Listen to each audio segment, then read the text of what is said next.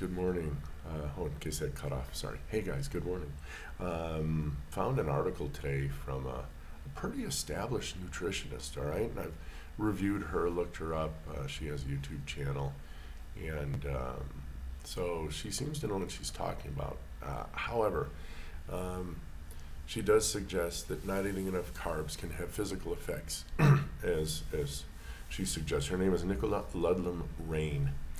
Uh, she said there's no good reason to reduce or remove carbs from your diet. Now, of course, we know that if you have diabetes type 2 or you're obese, as a consequence of this diabetes, this insulin resistance, uh, you have three choices. You can do bariatric surgery, you can do calorie reduction, which is essentially a starvation diet, but that one's not sustainable. And we've, uh, and, and, and again, you'll have to do your own research on bariatric surgery. Uh, and the third way is the low carb option. And that will also reduce the insulin and cause the weight and diabetes. The weight will fall off, the diabetes will reverse itself. Uh, and she does suggest here um, four things that will happen to you if you're not eating enough carbs. So, one, lack of energy. This only happens in the first three weeks, uh, three days to about a week. And that's until your body becomes fat adapted and learns, uh, relearns actually, you were born fat adapted. Um, and it, it builds mitochondria and relearns how to use fat as a fuel source instead of glucose. This is a very short term problem. Um, over the last year that I've been doing low carb, high fat, I have had zero energy loss. Zero energy loss, okay? Uh, brain fog, again, in the first three days. That's called the keto flu, uh, colloquially, uh, colloquially, colloquially, colloquially, whatever, that word. um, and the brain fog is, again, a cause of just too much glucose in the body. The body is spending so much energy trying to push that into cells and get rid of it out of the bloodstream. It has to. Uh, hyperglycemia will kill you in quick. Uh, so, not that the glucose is necessarily the preferred fuel of the body, but it is the most important one that has to get out of the bloodstream. So, again, this brain fog issue, again, just comes up in the first three days to a week. Uh, less energy for workouts. Okay. Over a year, like I told you, I've been very low carb, almost zero carb, and uh, high fat, uh, adequate protein. I probably eat two, maybe a little more than two grams per kilo of protein. Um, that's because I'm a little older and I also don't uptake as much protein as say my younger, my younger uh, compadres, right? Um, but I have had no trouble with energy. And again, here's that lack of energy idea. See, when you first stop eating carbohydrates and you're used to them, you will go slightly hypoglycemic. Your cortisol will try to bump that back up. You'll go through a little roller coaster. You may get nauseous, you may get dizzy. Um, you're going to feel like crap. But again, this ends in about a week. All right?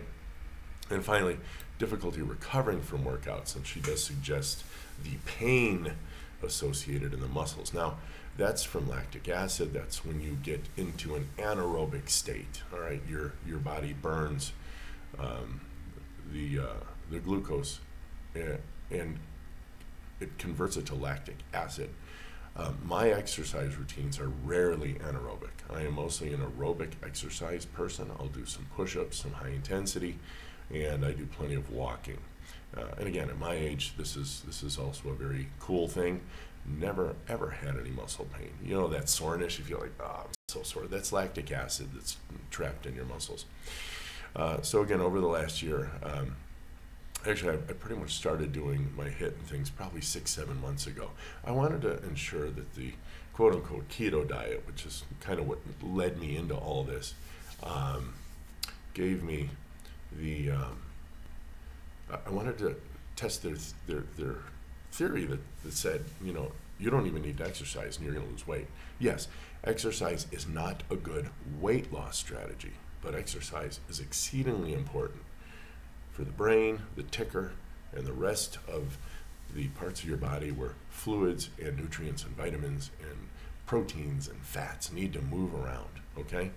So, again, uh, really, hats off, my, my respect to her education, her knowledge, and um, I, her transparency. Uh, I looked her up, and uh, she, uh, she is heavy into the bariatric surgery world. Um, again, beaucoup d'argent, yeah, a lot of money. Uh, and dietary solutions just don't pay a lot of bills for a lot of doctors. Um, that's why we're all out here for free telling you guys, hey, you know, advice worth the price, like my dad said. What did you pay to click on this video? Nothing. Uh, so there's your advice. It's, it's worth the price. Uh, but it has worked for me for over a year. Totally sustainable still.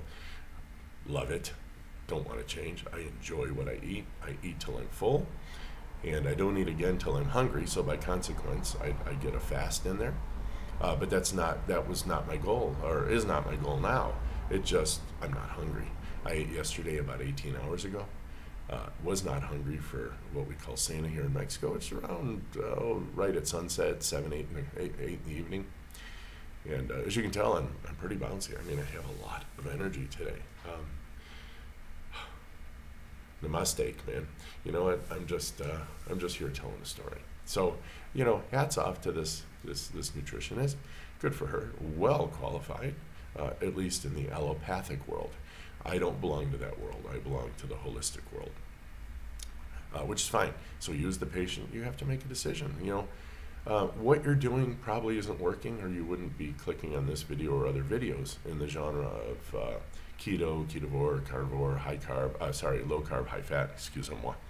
Um, so you have to ultimately make that decision for yourself. Uh, plenty of resources out there. Look up Dr. Ekberg, Dr. Berry, uh, Dr. Fung. I've I have clicked on Thomas DeLauer's information. He, he does a lot of sales, but he, he's real good with the, the, the, the medical lingo speak, you know, the, the big the big hundred dollar words. And uh, Dr. Berg, who actually is the one whose video I found introducing me to keto. So uh, anyway, good luck, guys. Um, it's tough out there. I, I get it, and uh, you have to do what's best for you. If you have any questions or comments, go ahead and leave them in the in the uh, the comment notes below, and then I'll I'll get your questions. Talk soon. Be well. Have a good one. Bye.